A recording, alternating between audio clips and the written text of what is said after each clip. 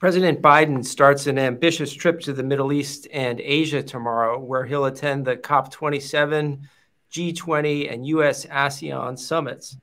Uh, it's, a, it's a big trip with a lot of issues on the table and lots of big questions. What should we be looking for from the Biden Xi meeting at the G20, for example? Or how should US policymakers be thinking about the G20 as an institution and its role in US statecraft? What should the president be trying to achieve when he meets with ASEAN leaders in Phnom Penh? I'm Chris Chivvis, the director of the Carnegie Endowment's American Statecraft Program, and I'm here with three great experts to dig into some of these issues. First of all, I have Evan Medeiros, who is the Penner Family Chair in Asia Studies at Georgetown University. He was a senior director for China in the Obama administration and has extraordinary depth uh, on these issues.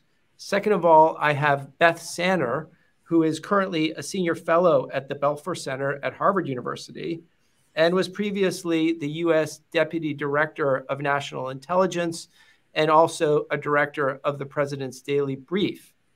Finally, I have my colleague Stewart Patrick, who is the director of the Carnegie Endowment's program on global order and institutions and a longstanding expert on multilateral institutions and their role in U.S. foreign policy. Thanks so much to the three of you for being here. Great to be here.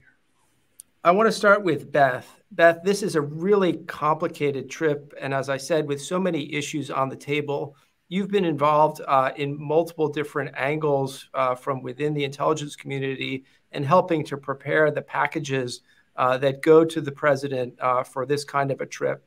I wonder what your thinking is about the kinds of opportunities uh, and risks that ought to be highlighted uh, for the president uh, and his and his team as they set out on the road tomorrow. What are you thinking? Well, I thought I might actually, Chris, talk uh, first a little bit about what it's like to be in the Oval Office and how you put these things together. I briefed President Trump twice on these trips, and I was um, deputy of Southeast Asia uh, and CIA. So I'm used to kind of putting these things together. And you know, the, if you put yourself in the Oval Office today, the morning before the president leaves this afternoon, there's only so much you can do, right? Um, and there are so many moving parts, so many different people involved. Um, but I would say that you know this is about bilats as well as what happens in these meetings. And so Biden met with all of these players, really with the exception of two people. And so it's important during this trip for him to solidify relationships with people he already knows, but also um, in terms of Meloni and Marcos Jr. in the Philippines, it's an opportunity for him to, um, you know, develop rapport with them, even though he's talked to them on the phone.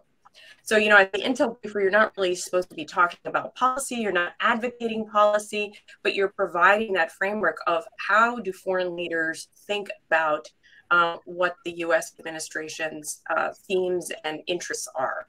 And so, you know, you would be breaking down, for example, I probably put together some charts on for each meeting or for each theme and break down where each person stands.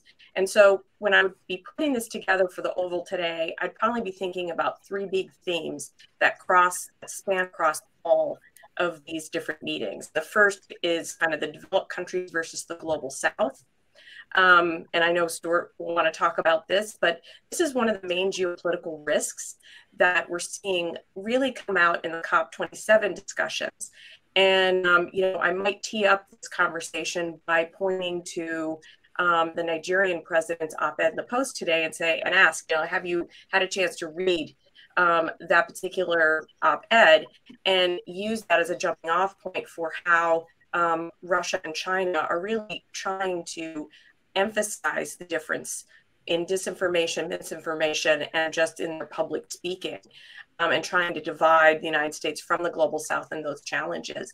Um, I would also, you know, kind of point to, you know, the bilateral meetings and some of these meetings having already been set, obviously, but there's the real potential of some people feeling slighted, like the Thai prime minister feeling slighted about um, the president not going to APEC, even though the vice president is going. And I mentioned Marcos, um, the vice president is going to Philippines, but those are important.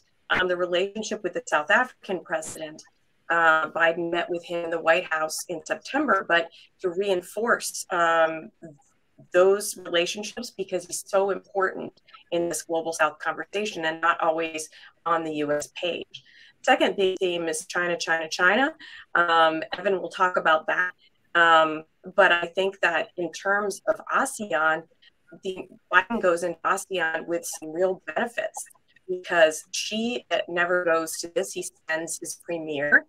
Um, but Li Keqiang is not um, he has not been re-upped for the standing committee after the party congress. So you have a lame duck China person going. Putin never goes to this event. Uh, you have real questions from a lot of ASEAN players about about China, about Xi's aggression coming out of the party congress and what they saw um, with Pelosi's visit in Taiwan. So there's some real opportunities there, even though Li is in ASEAN for a six day visit right now. And opening up some big, inaugurating some big infrastructure, just like he is in Indonesia. So I would be talking about how do players think about China. Um, and I'd also be talking about those priorities in ASEAN, Myanmar, and North Korea, and particularly North Korea, and how China plays into that. And then the third thing, the Russian invasion of Ukraine permeates everything. And boy, what a sigh of relief the White House probably had um, yesterday and was obvious that Putin was not going to show up. Uh, you know, maybe one virtual thing at the G20. Um, and but again, at ASEAN, we have some real benefits for Biden here because Hun Sen, the longtime Cambodian leader, has actually been really consistent on supporting Ukraine. He backed the um, they were one of the supporters of the sponsors of the UN um, vote on annexation, on that resolution on annexation. He just spoke to Zelensky a couple weeks ago. Um, he said he would come and visit Ukraine. They promised mining. Uh, Russia's kind of lost whatever luster it had in Southeast Asia. So, again, some real benefits there, um, even though you have some traditional ties. So, you know, in this context, I might show, you know, not just who voted for what in the UN, but what are their positions on these issues? And most importantly, try to have a contextual conversation so you can talk about each player. And then when Biden has individual meetings, he can understand where each country and each leader is coming from. I'll stop there because there's a lot that's a that's that's a fantastic uh, way to get us started, and it just reminds me what an enormous amount of work uh, goes into preparing the president for this kind of travel, not certainly from the intelligence community, but across the whole of the U.S. government. So, um, thank you for that. I mean, I have a number of things that I that I that I want to want to raise, but I, I, wonder if we might um, explore a little bit an issue that you put on the table, uh, which is Russia and China's efforts potentially to use these uh, multilateral forums to divide uh, the United States and the global South. And I, and I actually want to go to, to Evan first because he knows many of the countries uh, that are that are involved in, in this, especially on the Asia portion of this trip, and and ask him for his thoughts on that. Does, do, do you, Evan? Do you see uh, that as you know as one of the big issues, uh, one of the big dynamics that's going to be playing out over the course of the the next several days as Biden has these meetings. And and what are your thoughts on that angle? I do think it's going to be one of the fundamental dynamics, but it will also be the question of the depth and scope of American commitment to Asia. Right, there, these are three meetings that are all in Asia. Right, it's a unique convergence of East Asia Summit, then the G20, and then APEC, and they're all in Asia. And so, really, what it is is it's a test. It's a test of how committed the administration is to investing in the Asia Pacific. And the Chinese want have been trying for years, almost decades, to suggest that um, you know they are not only present in Asia, but they simply provide more um, benefits to Asian countries to try and short circuit what they see as American containment efforts, but also to just make themselves look more appealing. So this is a long-standing game. This is another test of that game. I think the Biden administration goes into it pretty well positioned because uh, it's important for for listeners to be reminded that this is Biden's second trip to Asia this year and it's also Vice President Harris's second trip to Asia. That's a pretty good setup in terms of signaling U.S. Uh, commitment to Asia. And of course, Biden also hosted all of the ASEAN leader, or almost all the ASEAN leaders for a U.S. ASEAN summit in Washington earlier this year. So, sort of the way to think about the U.S. versus China competition in Asia is Biden comes into this after demonstrating a pretty serious and sustained commitment uh, to the Asia Pacific. The challenge for Biden is twofold. Number one is that nobody in Asia wants to choose between the United States and China, right? The great strategic truism of this new era of US China strategic competition. And so Biden needs to signal that he is going, wants to pursue stability in the US China relationship, that he's not um, committed to you know long-term rivalry that he wants to manage problems. So sort of finding that balance between demonstrating that america um, is deeply engaged in asia but that it doesn't want to uh, ask countries to choose between the united states and china. So i think that's going to be one challenge for him. And the second challenge is to make an obvious point is demonstrating that america is going to be involved in the asia growth story going forward. This is a perennial challenge for the us once President Trump made the decision to withdraw the U.S. from uh, the Trans Pacific Partnership. Now, TPP subsequently went forward, renamed CPTPP, and uh, that and another regional trade agreement called the RCEP are really sort of driving the next round of trade liberalization in East Asia. And so, not only demonstrating that um, Biden doesn't want countries to choose between Beijing and Washington, but also that the United States actually uh, can give Asia what it wants, which is opportunities to benefit from the large and growing U.S. economy. Final point here, Chris, is I think China comes into this um, these three big summits a little bit on the back foot, and Beth uh, very wisely alluded to this. Um, you know, the current premier Li Keqiang is a lame duck. He's going to go away in a few months. Um, so meetings with him are sort of useless. Xi Jinping just pulled off this, you know, sort of very, very dictatorial, authoritarian looking um, uh, uh, political transition in which he just stacked the leadership with all of his key people, which doesn't make China look particularly, you know, open, transparent, accountable. But perhaps most importantly, is the Chinese economy is slowing.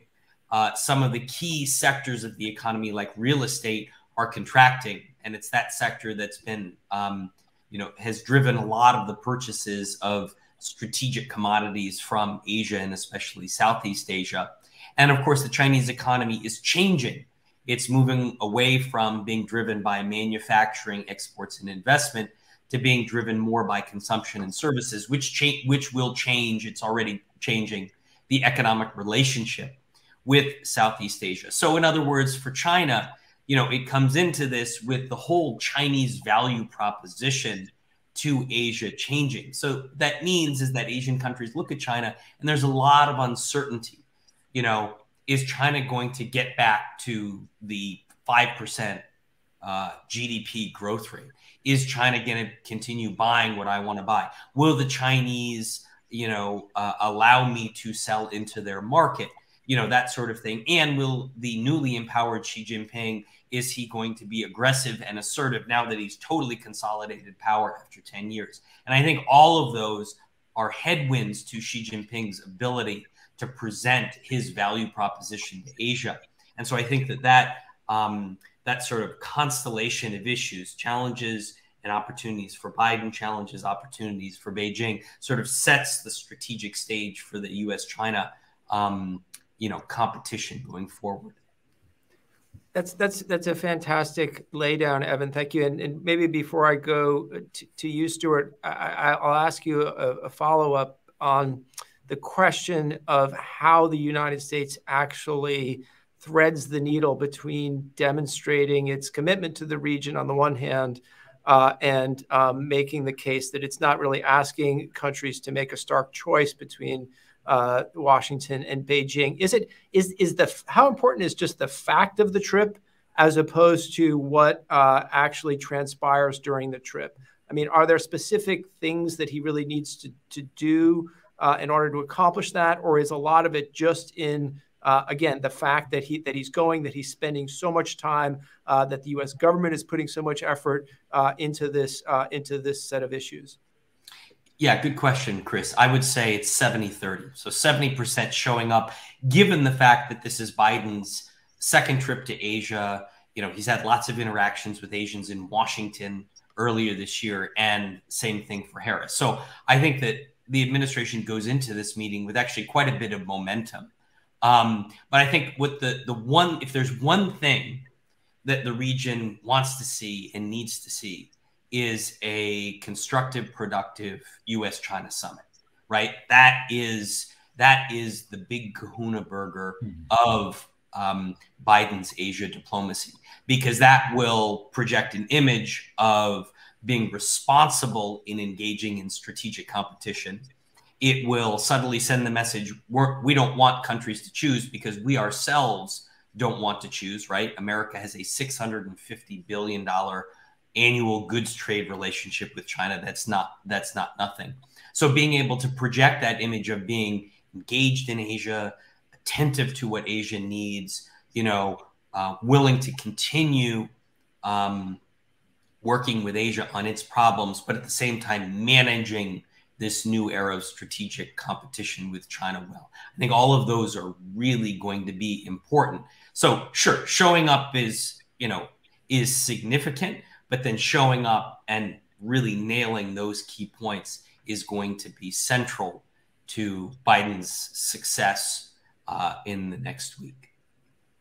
That's great, and, and obviously we want to get to uh, talking a little bit about the the Biden Xi meeting. But before we do that, Stewart, let, let, let me bring you in for a, for any comments that that you want to make on uh, on what we've been talking about so far, but but also I'm interested in your thoughts about um, whether or not these multilateral fora are, are fit for purpose, um, or, or at least how you know they, they, they ought to figure in American statecraft today and looking forward. With the G20 in particular, there are there there there are um, obviously a number of, of challenges. This is an institution that we had we the United States along with others had elevated to a very high level of strategic import, importance in real years in recent years based upon the observation that so much of global wealth is is is represented there um, but yet now we find ourselves in a position where certainly obviously there's the, the challenge of, of Vladimir Putin and then also the ongoing tensions between the United States and President Xi problems with uh, Saudi Arabia uh, and tensions uh, to some degree even with other countries. So, so how should we be thinking about these institutions and, and their role in U.S. statecraft? Yeah, thanks so much, Chris, and it's great to be here with um, with all of you. Um, I mean, in, in many ways, it's kind of a tale of two multilateral groupings, right? Um, the G20, but then the G7, and how those have, in a sense, oscillated in U.S. calculations of which is, in a sense, the most uh, valuable informal uh, standing coalition or, or consultative body. Um, I mean, as you pointed out, we know when the G20 was created back, uh, you know, in the depths of the global financial crisis in um, in November of 2008 you know, declared itself the premier forum of, um, of global economic coordination. Um, you know, everybody basically had given up the, the G7, uh, which was the G8 at that point, including Russia, um, up for dead. But I think over time, I think, you know, the G20 has fallen victim, which is not really surprising to its extraordinary heterogeneity. Um, you know, the salad days were pretty short lived. Um, it did, it was admirable as a at least short-term uh, crisis committee, but then it, it wasn't. It never really emerged as a sort of enduring steering committee for the global economy or for other aspects of sort of international governance. Um, and I, it, what was interesting, really, also was that when the COVID nineteen crisis uh, erupted, um, it didn't even uh, take on its firefighting role right? Um, and it, it, just was um, the G20 and essentially essentially failed because it was hamstrung by uh, U.S. China geopolitical um, competition. So I think one of the lessons is that you know you want to have the one of these forums be a, a Deus ex machina that somehow you know creates a, you know it solves all these problems magically. But the reality is that uh, that none of them are, both all of them have imperfections. Um, you know, because and then meanwhile in the intervening years, the G8 now G7's uh, demise proved a little bit premature, right? And because fortunately for the, the G7 members, uh, Russia, which had never been a particularly um, uh, you know natural partner within the G8, uh, was ejected in uh, 2014 at, after um, Vladimir Putin's first invasion of Crimea, I mean of, of Ukraine and seizure of Crimea. Um, and so I think what you've seen though is that um, the importance of, of the G7 in comparison has only grown with rising ideological and geopolitical competition with these revisionist authoritarian powers. Um, and so you know, it's been in, increasingly the fulcrum, and particularly um, with the war in Ukraine, um, and along alongside um, NATO and, uh, and and and the other allied U.S. allied structures. Um, the dilemma and danger for um, Biden going into um, this G20 summit, and and generally speaking, is that the vision of the world that he's been propounding is often fallen on deaf ears in much of the developing world. And that includes many of the emerging market economies within the G20. When, when, when, and this was on you know, sort of, um, uh, it was it, it, was definitely showcased when um, um, Antony Blinken and, and uh, met with his uh, foreign ministry counterparts um, this summer. There was a real effort. First of all, there had been an effort to try to make sure Putin wasn't invited to the G20. Obviously, he's not going now, but uh, but he wasn't actually invited. And you know, um, the U.S. effort was uh, was was entirely in vain. And then when um, uh, Secretary Blinken uh, this summer tried to, you know, isolate in a sense uh, the Russians. Um, didn't uh, had, had virtually no success, um, and, no success really, obviously, in engaging the Chinese in this in this uh, degree. So I see what you have when uh, President Biden's going to um, to Bali. He's you know got a got a um, got a body that's really divided into, in a sense, three camps. Uh, there's the revisionist authoritarian powers, you know, Russia and uh, Russia and China. There's the West, basically, which is about ten countries, uh, the G7 plus, and then though you have you know eight countries that are really uh, clinging to non-alignment and have no desire to get involved in a new Cold War uh, uh, with Russia and China. And so they, as I mentioned, those are those dynamics have been quite quite a bit in display. But um, I think that one of the, one of the dangers is that, um, or, one of the things that, that, the, that, President Biden has to do when he gets to the meeting and beyond is um, to take a close look at um, each of the emerging market economies that are in there and think about, in a sense, what their what their strategic calculations are. Um, uh, Beth was getting to getting to some of this um, in, in terms of the, the bilaterals. You know, all of these countries have equities with Russia, or for strategic and ideological reasons, uh, don't want to uh, rupture uh, rupture their non-aligned uh, uh, status, including not least India, but also host Indonesia. Um, I think that uh, given this, what we have, the, the dangerous um, dynamic right now for the United States in terms of statecraft is you have a world that's divided not only on east-west lines, but increasingly on north-south lines. You, you see this um, at COP27, which perhaps we can talk about, um, but you've seen it um, uh, in spades in the aftermath of um, the pandemic, in the aftermath of the, the global debt, debt crisis that's going on. Um, so I think that you know to rescue the G20 from irrelevance and also perhaps get some leverage with some of these countries, um, Biden needs to do. Uh, he needs to show the leaders of these. Uh, emerging economies that actually understands their priorities and the west is primed to launch some concrete initiatives along those lines and there's a number of initiatives that i have in mind but um, i won't go into any great detail but uh, that includes uh, um, initiatives to address the mountain of debt of emerging economies and developing countries, uh, ensuring that any dramatic moves that the United States and, and its allies make towards friendshoring actually doesn't hurt, uh, but actually helps some of the countries, including those at the G20. Um, and I think that there really needs to be an effort to deliver on climate financing. Um, uh, not only for a clean energy transition and uh, and adaptation, but but then also for um, climate reparations, which is a huge issue uh, right now uh, at COP27. Um, so success in Bali, I guess I would say, would depend a lot less on scoring points against Russia and China um, than on whether the U.S. helps shift the substantive agenda on issues that that sort of matter to the these fence-sitting countries um, that the United States hopes to cultivate. And I'll stop there, uh, but happy to respond or follow up. Chris, can I add something to yeah, that? Beth, I was gonna, I was actually just gonna ask you to come in, and then I want to be sure, since we have li somewhat limited time today, that we get to the uh, Biden Xi uh, meeting. But Beth, please, please go ahead. Yeah, and I think that you know, without pointing it out, there's a really good juxtaposition for the United States versus China on some of these key issues, like debt relief and on environment. Um, and I think that there's a tonal issue here, you know, that it has to be Biden has to adjust the tone, right? It can't be about values. I think they're getting that message. Um, there are some countries that care about that, so you don't want to throw that away. I mean, something we believe in, But let's face it, the US is actually a perpetrator of a lot of the pain in the developing world right now because of our interest rates and um, the high dollar, right? That's not designed to hurt them, but it is hurting them. And so I think we have to acknowledge that along with climate um, and figure out ways of, of being proactively um, understanding and help be part of the solution there in a way that I don't think China can be. I mean, they're not they're not able to be in a lot of ways. They don't want to be. Can I can I pick up on that just really quickly? Um, uh, I, I, totally agree, Beth, and I think that one of the positive aspects of um, the Pre President Biden's uh, speech to the UN General Assembly was that he actually subordinated this notion of, you know, this is a, a, pivotal moment in the contest between autocracies and democracies, and actually spoke about, look, this is about, uh, you know, fundamental rules and norms of international law and the UN Charter uh, that everybody should be able to get behind, um, notwithstanding you know whatever whatever the regime type happens to be. So I, I, agree with you. And then, as you mentioned, pivoting to really concrete issues uh, that matter, like the fact that in crushing inflation, we're creating huge amounts of spillovers for all these countries.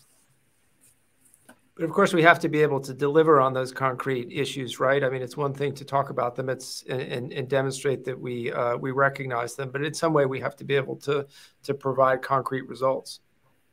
Yeah, no, absolutely, and you know, there's a there's real questions about you know, I mean, the president's capacity to deliver. I mean, he's probably uh, going, he's got a bit of the wind of wind at his sails, um, you know, with respect to um, COP27, for instance, because you know the Inflation Reduction Act has really really helped um, and, and, increase the credibility of his you know his ability to deliver, and uh, that act itself, particularly on the climate provisions, uh, are not are not easily overturned um, by even a Republican majority uh, uh, who has the purse strings in in the House, if that's what it uh, happens to be.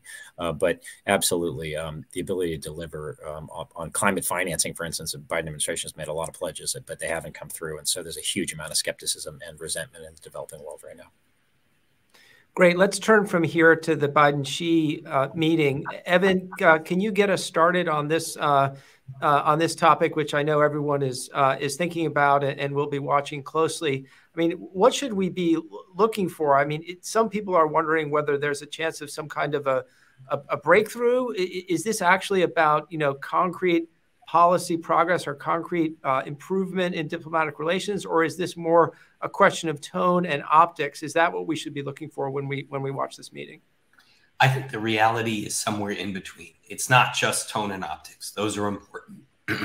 and it's not just about deliverables because it's pretty unlikely they're going to generate any deliverables. I, I, think fundamentally what it's about is since this will be the first in person meeting that the both, the, both the leaders have had since Biden became president, um, it will be the sixth sixth time that they've had a conversation and basically, since their last conversation, the relationship has not been going very well. You know, some people say it's in free fall, uh, you know, driven by many dynamics, but the Taiwan issue obviously is at the forefront given the enhanced PLA Chinese military presence, you know, around the island of Taiwan. So I think what this meeting is about is um, both sides, for different reasons, basically want to put a floor under the relationship. I think on the US side, it's about demonstrating that the relationship is not in free fall and that issues like Taiwan or even technology competition are not locked in a downward spiral dynamic. I think that's what Washington wants. I think what Beijing wants is basically to take the temperature down in the relationship for a couple of reasons. Number one, Xi Jinping simply has a lot of problems to deal with at home. Zero COVID in the econ- economy are very prominent. Completing the leadership transition because it's not really going to be done until March. So that's important to make sure that both the transition of the Communist Party as well as the transition in government, um, you know, get completed. But it also it harkens back to the issue I raised before. Xi Jinping demonstrating to the world, but in particular to the developing world, that um, you know, that Xi Jinping, now that he has his third term, uh, can act like a responsible global leader. He's trying to project that image of, of being a global statesman, which is important for his own domestic validation now that he's gotten his third term. So I think he does want to project that image, and that was reflected most recently in the trip of the German chancellor, um, you know, to Beijing, given the uh, the um, deterioration in China's relations with Europe since the Russian invasion of Ukraine. So, for different reasons, uh, both sides have come together and decided, okay, let's see if we can stabilize this thing.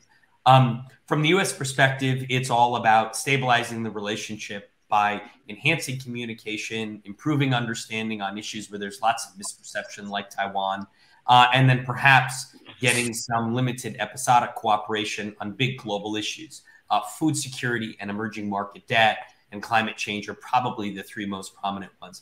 I'm pretty skeptical they're going to be able to get much of an agreement on anything because the traditional Chinese approach is great, we're happy to cooperate with you. What are you willing to pay us to do it?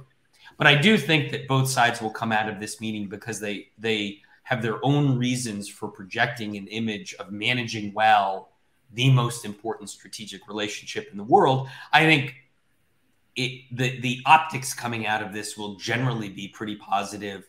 I think Biden having the opportunity to talk with Xi Jinping personally and directly about the Taiwan issue is helpful. I don't think it's going to solve the Taiwan issue. I think the Chinese are genuinely, uh, at best, confused about U.S. Taiwan policy, but probably, um, you know, believing that the U.S. is moving away from the traditional principles of things like one China policy. So the, the meeting is somewhere between pure optics and you know chunky deliverables. There there are real there is a real conversation that needs to happen between both sides about perceptions, about policies, maybe even about personnel, given the changes on the Chinese side.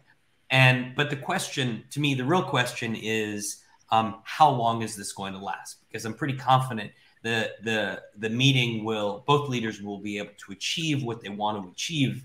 The question is how long is it going to last? Um, given some of the actions the U.S. Congress has has or the Republicans have already said they're likely to take does it create a domestic political environment that either constrains the president or members of Congress take actions like lots of trips to Taiwan uh, that make his management of the relationship much much worse. So you sort of have the domestic, uh, you know, political piece. I think is going to be uh, problematic. And then, secondly, you have an election in Taiwan. Um, the presidential election is going to be in January of 2024. That means by the second quarter of 23, the Taiwan election cycle is going to pick up. And if you've got a bunch of candidates saying things that the Chinese don't like, and the Chinese um, begin to worry about the prospect of a third president of Taiwan from the Democratic, uh, you know, from the DPP, the ruling party right now, uh, that could lead them to increase their military presence, start to squeeze Taiwan even more, perhaps eliciting a U.S. response. So the so let, let's see how long this relative stability is going to last. But it's it's what's interesting to me is from a sort of broad, broader strategic perspective, is how freighted this bilateral meeting is mm-hmm. with historical and strategic significance. Right, there are commentators talking about being it, this meeting being the first superpower summit of the new Cold War. Right, Cold War version 2.0. Right, is this Khrushchev Kennedy 1961, right? A year before the Cuban Missile Crisis, right? We could go on and on uh, talking about the analogies. And these are genuinely interesting questions. But nonetheless, this is a meeting that's freighted with an enormous amount of meaning. But I think the real question is going to be what are they going to be able to accomplish in terms of communication and understanding, less so on the deliverables front, and then how long is it going to last? Over to you. So, so, it sounds like before I go to um, to, to, Beth uh, and, and, Stewart for for their thoughts on this, it sounds like your your your analysis is actually somewhat cautiously optimistic that at least the relationship, which has been deteriorating now for several years, could be set on a or could be pointed towards somewhat more stable territory. And we might look back someday at this meeting as the, the point in which there was at least some change in direction or some effort to stabilize the relationship. Is, is it possible that there could also be a more negative outcome? I mean, could something go, go badly wrong that would actually rapidly accelerate the deterioration in the relationship that we've seen, or, or is that really not, not likely? So I, I, didn't mean to give an optimistic assessment. I'm not particularly optimistic. You know, I'm sort of neutral. In other words, both sides want to stabilize the relationship. I think both sides are going to be able to say the right things to stabilize the relationship, but none of the underlying problems are going to be resolved, right? Of course, yeah. And and so all the sources of intensification of strategic competition will continue to exist, right? If we're lucky, we'll get the reopening of some of the communication channels that were either canceled or suspended after Pelosi's visit. But opening up communications with China, you know, as a veteran of the Obama administration, doesn't really solve problems. Sometimes it's just a way to sort of let a little steam, you know, steam out of the valve, so to speak. So I, am not particularly optimistic. I just think the summit is what it is. It will, as both sides conceive it, very likely to accomplish its aims, but that it it is unlikely to fundamentally shift the trajectory of strategic competition. I think, as I said, it will sort of buy a little bit of time, but there are a variety of external factors like Taiwan, like American domestic politics, like PLA modernization, especially on the nuclear front, that um, paints a pretty steep and linear trajectory for the intensification of this strategic competition let me say here that this is fantastic, and we've already covered uh, a, a, fantastic amount of territory. Uh, I want to I want to go to uh, Stewart and, and Beth um, for sort of closing thoughts here on on this or on any other issues. But let me throw one question that we have haven't discussed, but that has been raised by our audience, which is uh, how does the the Ukraine war, Russia's war on Ukraine, factor in this? Is there is there is there any likelihood that discussions, uh, either especially at the G20, but but anywhere else, could have some kind of an effect on uh, on the on the unfolding of, of that conflict? I'll just put that out there if you if you want to answer it. But Stewart, let, let me go to you first for anything that you want to add uh, at this point as we as we're bringing this to a close. Yeah, sure. Uh, just on the, the, the audience members' question or the participants' question, I, that's really interesting. I my sense is that that this will not be um, an occasion where um, where um, any sort of um, settlement uh, or move towards a denouement, some sort of armistice or negotiation toward that. Even even even um, mulling that out in the open is going to be something that the United States would be uh, enthusiastic about, uh, or the West, partly given their desire not to allow this to happen and, to get ahead of the, the Ukrainians themselves.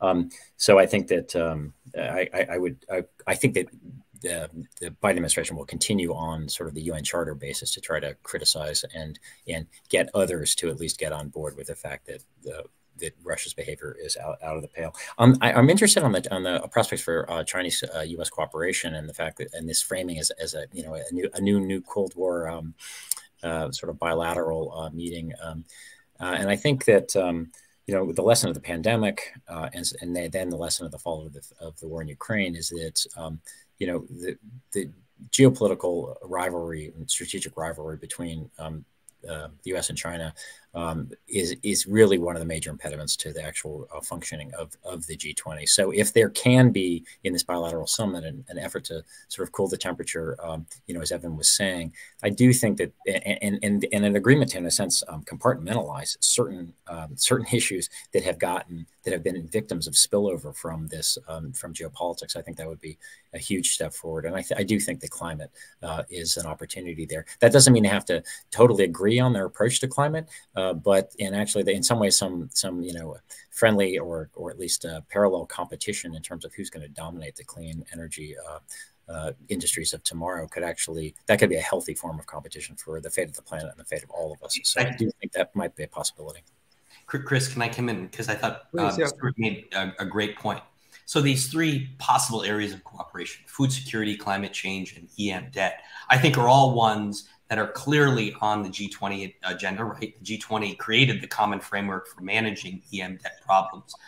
The issue to date has been the Chinese don't don't aren't interested in doing this multilaterally, um, right? They're not part of the common framework uh, in doing the you know the debt workouts of both Ecuador and Zambia. Uh, the Chinese have not been particularly transparent, right? They haven't used the common framework.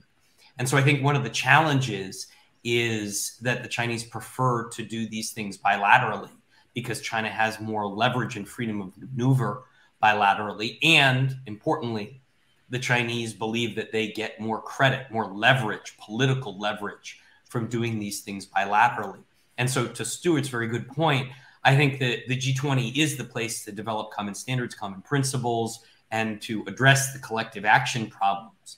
I think to date, though, you know, Xi Jinping has been, you know, has been so concerned that the U.S. dominates the G20. He looks at the U.S.-China relationship in such, you know, um, competitive terms um, that you haven't had that any any opportunity to cooperate. Um, I, I, think the question going forward is, as Beth pointed out, if the Chinese are really engaged in this sort of charm offensive toward the developing world, which they see as a constituency that will help them in their long term competition with the United States and capitalist democracies, you know, Russia, BRICS, the developing world, then perhaps that provides some motivation for them to do a little bit more within the G20. You know, hard hard to tell. I think this G20 will be an interesting test because they're definitely, you know, very much in the middle of this sort of developing country charm offensive. Um, you have a new leader, new foreign policy leadership in China, Wang Yi, and he's, you know, uh, obviously a very uh, experienced, if not skilled, diplomat. So I would say, you know, um, perhaps this G20 is a test of sorts where you have this convergence of China wanting to stabilize relations with the US, China engaged in this charm offensive toward the developing world, and Xi Jinping wanting to present himself to the world, you know, as a you know as a, a great influential uh, leader post party Congress. You know, perhaps those are um, proximate conditions that might open the door to doing something more in the G20. So I would say, uh, great, great, great points, and let let's watch and see what happens. So again, you sound a little bit more optimistic, I think, than than you want to be, uh, which is which is actually a good thing these days. Beth, let me see if um, let me see if you have anything you wanna you wanna add before yeah. we conclude this session, which has been excellent. Let's just say um, very quickly on the question about Ukraine. I actually think ASEAN is a place where we're going to see some positive things coming there. Kuleba, the foreign minister, is going to be there. They're going to sign an agreement on um, on a relationship with ASEAN, um, and you know, remarkably, I think that there is a little bit more um, emphasis there. The G20, we're not going to see any changes. India has absolutely not changed its policy on engaging Russia and, you know, other key members like Saudi Arabia. The question we have not put on the table, which I think is absolutely key to many, many conversations here um, during this next week, is North Korea. So there'll be a bi- there'll be a trilat between Japan and South Korea, and the U.S. managing that bilateral relationship and encouraging it really key. But you know, for that Xi meeting, I would absolutely, if I were Biden, say mano mano here.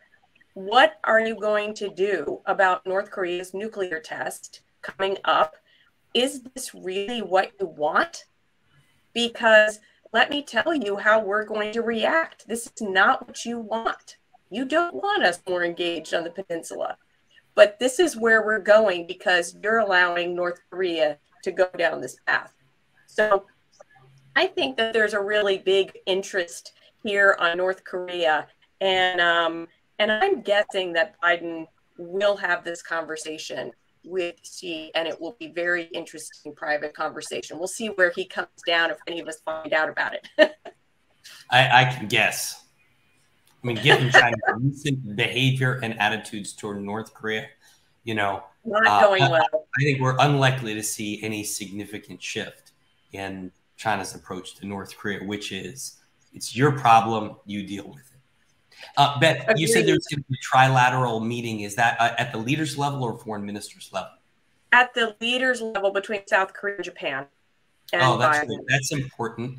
Yeah. And I can so, remember in the Obama administration, we did this uh, in The Hague. Um, mm-hmm. You know, and uh, you know, I can remember it was. I think this will be the second one, Evan, that they've had um, the trilateral on the margins of maybe uh, yeah. you know when he was out for the quad, and so it'll be either at ASEAN or G20, and just a very very important um, alliance structure to keep building on. Because China's not going to be helpful.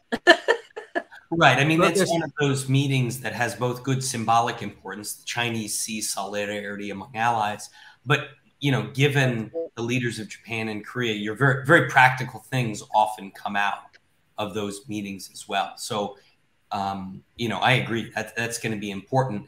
And you know, the North Korea issue is always central to the U.S.-China relationship. It's been a quiescent issue of late, but you know, it's going to be one of those again, another one of those tests. Are the Chinese going to be interested in, you know, constraining North Korea for the sake of global stability? Or are they going to treat the North Korea issue as something that's part of this geopolitical competition between America and China? Well, the stakes are, are obviously uh, significant, um, and we'll all be watching over the course of the coming several days as all of this unfolds. Um, you know, again, I'm taken back to what Beth said at the start about uh, preparing the president for a trip like this and reminded again of the extraordinary amount of work that goes into it, uh, not just here in the United States, but also if you think about it around the world. So uh, it's an extraordinary uh, time that we have ahead of us with these meetings. Um, and, and I am just so appreciative to the three of you uh, to have joined us to this to, to try and talk about at least at least we covered some of the important topics I feel like and did so uh, in a very interesting way. So thanks so much for your time uh, and thanks to everyone for, for joining us today. Thank you. Thank thanks. you.